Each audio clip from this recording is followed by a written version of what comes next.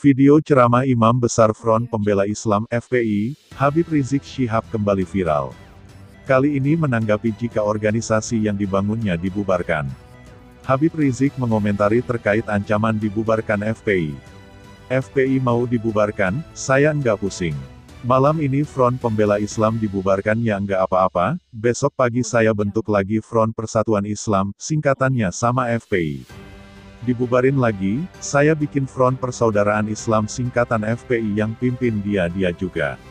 Dibubarin lagi ya enggak apa-apa, saya bikin Front Penjaga Islam, singkatan sama, yang pimpin sama, kerjaan sama, ucap Habib Rizik seperti dikutip Selasa tanggal 24 November tahun 2020.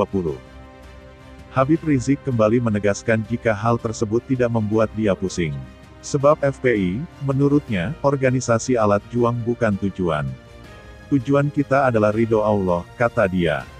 Sementara itu, lanjut Habib Rizik, ada atau tidak adanya FPI, seharusnya umat Islam harus memperjuangkan amar makruf nahi mungkar.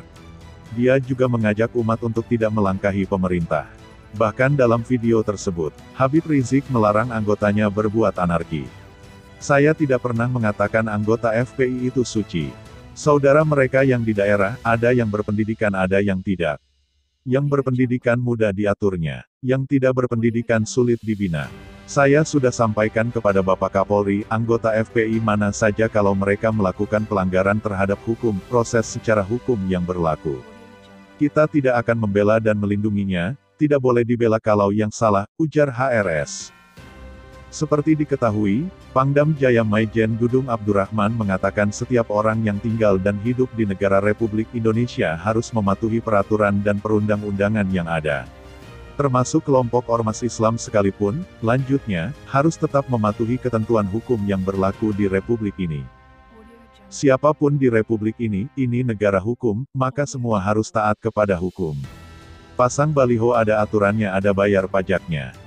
Jangan seenaknya sendiri, seakan-akan paling benar, tidak ada itu.